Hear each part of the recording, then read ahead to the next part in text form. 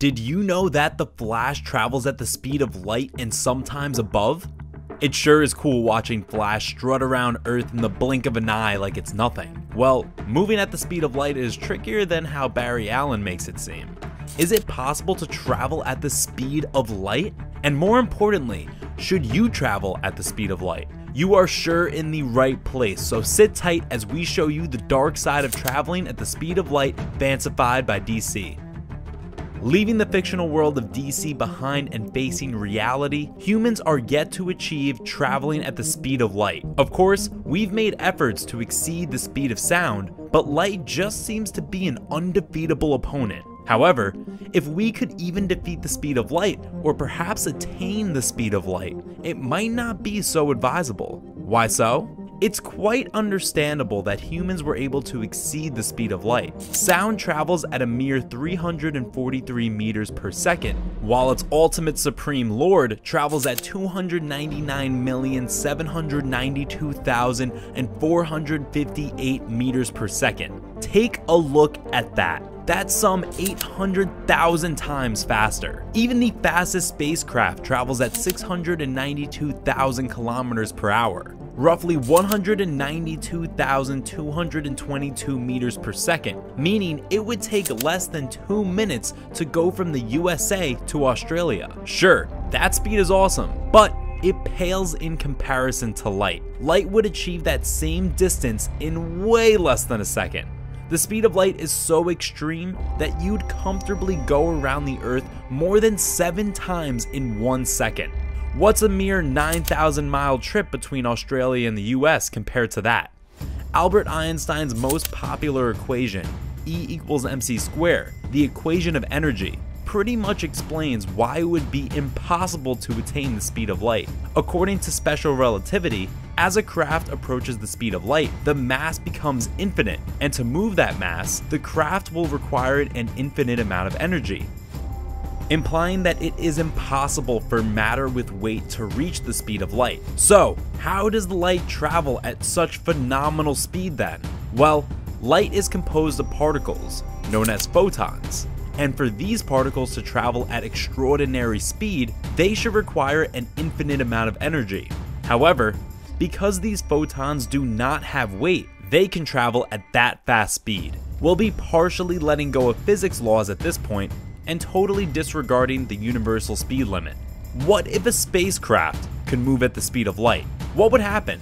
As a spacecraft accelerates towards the speed of light, time goes slower down to the point where time would eventually stop. To illustrate, we move in time as we perform daily activities, but our movements in time for each person differs based on every individual's movement in space. The higher the speed of our movement in space, the lesser our movements in time. So moving at speeds close to the speed of light in a spacecraft will slow down our movement in time.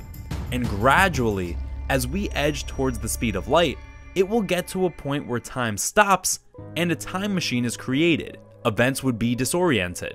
In essence, as we travel at the speed of light, we would be traveling into the future. So let's get back to the spacecraft. As the spacecraft edges towards the speed of light, you might not notice the difference in time, but from an earthbound perspective, time would slowly stop till it seems like everything is frozen, causing what's known as time dilation to happen. Basically, time is relative, and it passes at different rates for different people. The popular twin paradox perfectly embodies this. If one of the twin siblings takes a spacecraft at light speed to a distant location in the galaxy, the earthbound time for this twin will basically stop and from their perspective, the clock on Earth will slowly stop moving till it finally stops. However, the clock on the spacecraft would still move at the normal rate, but only wouldn't calculate time precisely from the perspective of the other twin bound on Earth. Mere minutes on the clock of the spaceship could be equivalent to a decade or more, and upon their return back to Earth, the twin siblings wouldn't be of the same age anymore. The earthbound twin could be a grandpa, while the other twin would look more or less the same. Taking the paradox a step further, what if the twin in space did not only move at the speed of light, but moved faster than light? At this point, time wouldn't just stop, but time would move backwards.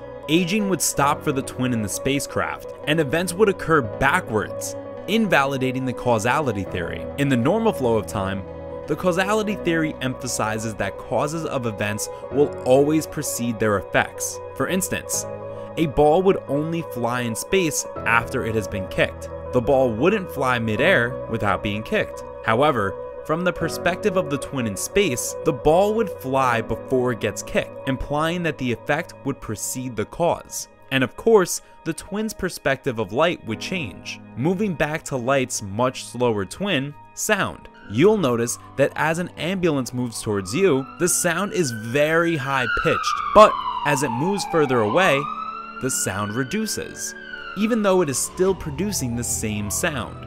This is where the Doppler effect takes control. As the sound waves are emitted from the ambulance, they compress as they head towards you, the stationary observer.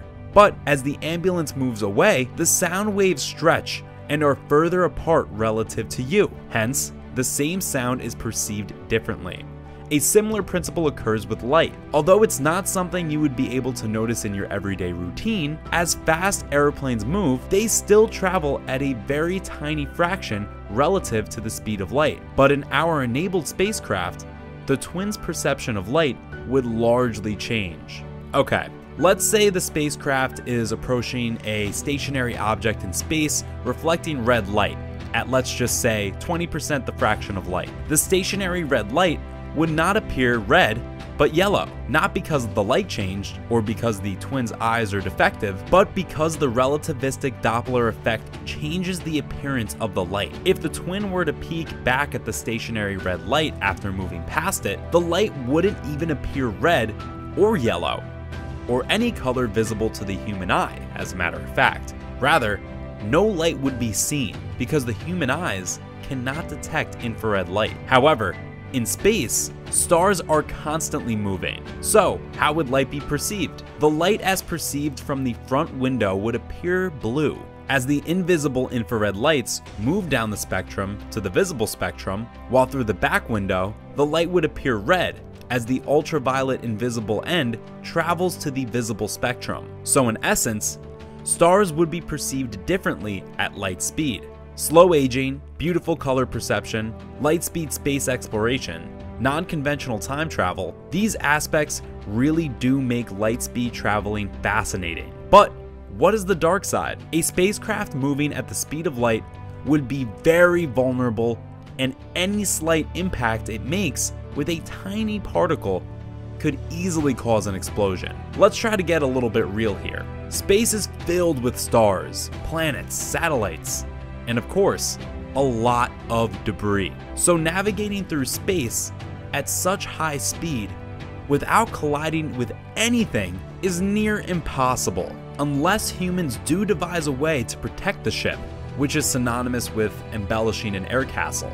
A successful light speed space trip would even feel empty.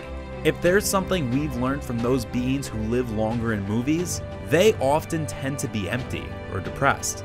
Even Captain America chose to end his life rather than be a superhero. What's the point of traveling through space at the speed of light when the people you'd have to report back to might even be dead upon your return? Time with family would be lost, friends would be gone, and important milestones missed. In the end, missed events would be regretted, and your present wouldn't be the same anymore.